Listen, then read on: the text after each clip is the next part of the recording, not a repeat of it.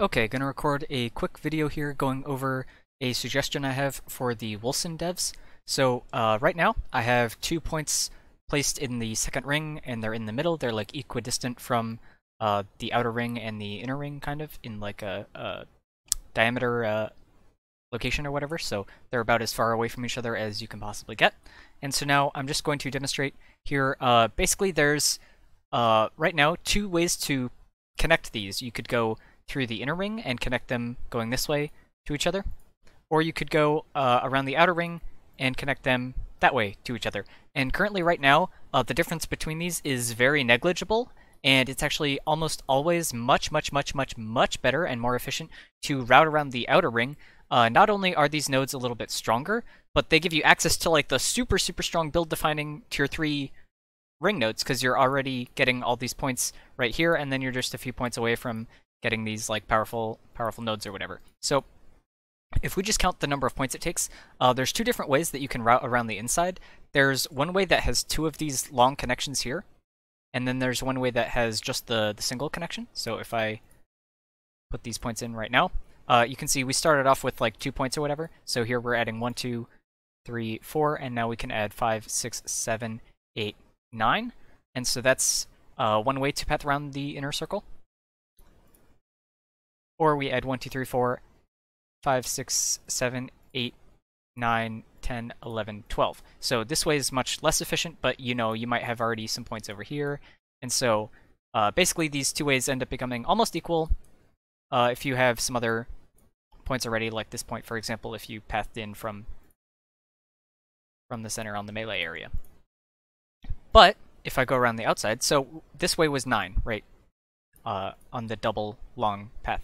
And this way, if I go 1, 2, 3, 4, 5, 6, 7, 8, 9, 10. So it's only one more point, but you can see I get access to 1, 2, 3, 4, 5, 6 outer uh, build defining like traits, which is literally half of them for spending one extra point. Whereas in here, these nodes are like 8% damage, it's like 8% health, 12% this tiny thing, 10% there. It's like all these very small uh, increases, and especially because they're all additive with each other, that they can't compare to getting access to spending like three more points and getting like these build defining uh, traits or whatever on the outer ring. So my suggestion is basically uh, to more equalize the two routes that you can go through and also just make the inner ring a bit more efficient so that like to me it makes more logical common sense or whatever that cutting through the middle is probably better than going all the way around the outside. But currently that's not really true especially because of the strength of the outside nodes.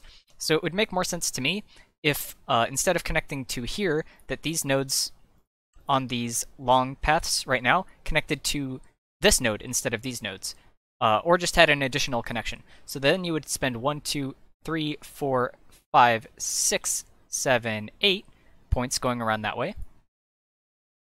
Or one, two, three, four, five, six, seven points going this way. And so that just makes it slightly more point efficient so that you uh, can maybe reach the other side of the tree a little bit easier.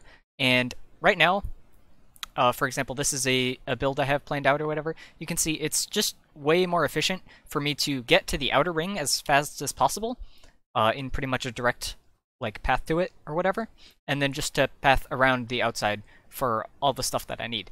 Um, there's also some stuff like here, for example. Where's a good example? Here you have these nodes where these outer ring, like this, gives me access to the white arrow uh, ring, whereas I could also path and do this same thing. And then if I had a connection over here, you know, and this was all still connected, that it's obviously still better.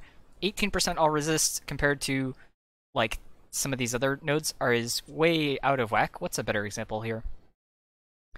Um, can't really see a good example in this tree, but uh, for example, it's almost always better instead of pathing through the lower end to get to these side nodes, it's almost always better to path around the top side and then to connect like this, for example, uh, around the edges rather than connecting down here.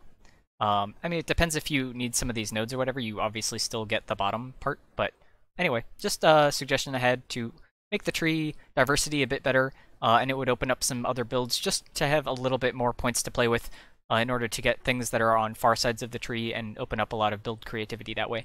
Uh, whereas right now, you're pretty much always going to take almost one half or two thirds of the nodes on the tree. on the outer ring, or you'll have access to them at least. And it isn't too uh, inefficient to go the other few points or whatever around the outside just to get access to these other ones. But it would be a lot easier and better, I think, because uh, you can see right now I don't have access to like the Warlock area at all. I barely have access to the Praetorian um, and things like that. That it would be a little bit better if and the Nun and the Sentinel if uh, you path through the middle, that it would give you access to a bit more more stuff for just less points. That would be my suggestion. Thank you.